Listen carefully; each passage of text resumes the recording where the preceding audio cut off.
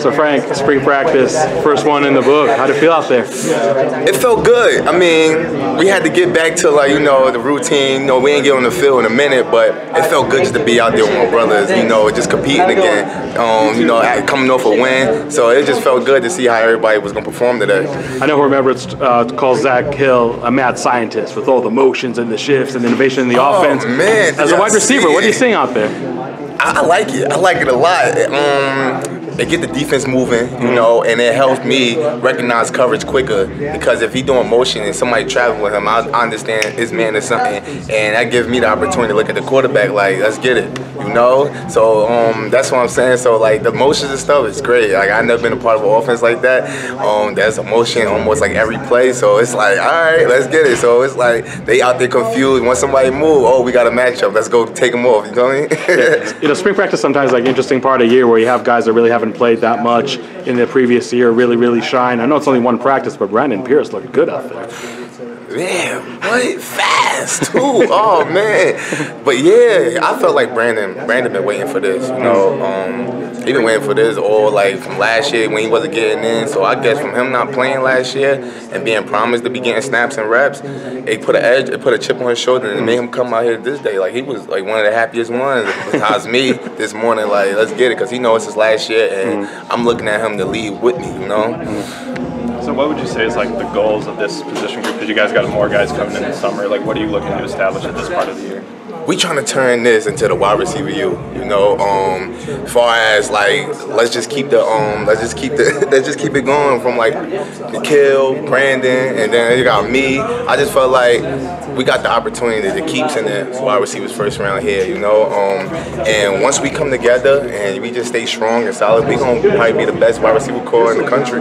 Yeah, yeah. And you talked about N'Keal and Brandon, and now you being the senior. Just what expectations are you putting on yourself at this point? Oh, my expectations is just always have high confidence, you know, um, push and work harder. So my the young cats can see how I push. So once I leave, they already got the mindset to work harder than the other.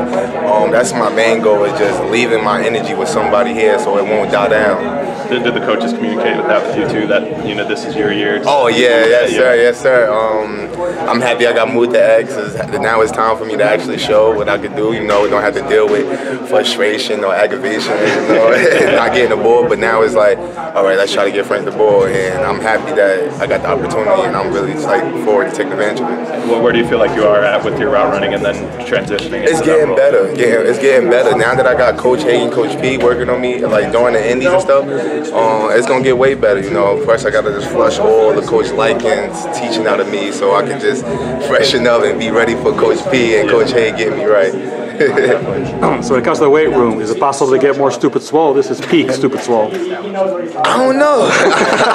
you know, I, I, might have to. No, I'm gonna keep getting swole. You know, I'm gonna keep getting swole. It's a part of me. You know, I'm trying to play around like 205, running fast, like a 4-4. You know. Um, but other than that, y'all know I'm gonna just stay buffed up.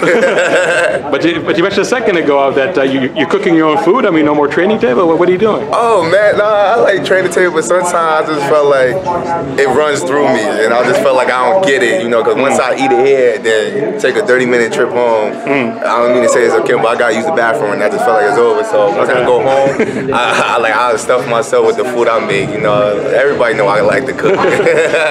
when you talk about leading, like what's some of the stuff you think you really need to uh, prepare yourself to be that leader in 2020? you know, just leading my example mm-hmm. first. You know, like if I feel like if I'm not doing great out in the field, I, I don't have nothing to say. You know, so every day I'm trying to play at my best and make plays and um, have like make that confidence from the coaches and stuff. Because I still got to perform in front of Coach Hill. You mm-hmm. know, so just me making plays every day and then like being vocal and also showing it is gonna help me in the long run. Uh, but, but by being a leader for these young cats. When I talked to Prentice about your leadership, he says, you know what, that's great. I want Frank to be a leader, but he, he needs to take care of Frank Darby first. Um, is some, you think it might be hard to balance as the year goes on? A little bit, know, um, because at the end of the day, I'm a team guy. Like I, I, grew- I've come like all these years here, I was a team person. Like I wanted to win. Like I wanted to win. Like let's come together. So it's like now that when I talk to him and he telling me like you are X now, there's there's places where you have to be like just a little selfish, and I'm not used to that being selfish, you know. But so it's just something that he gonna work with me on, and and I'm just gonna have to just get better and just keep being the leader, and also trying to make myself better to make it to the next level. About how you the ball in the stretch today. Jerry Neely snuck around. Sucker punch. Yo, right. I'm looking at him the whole time.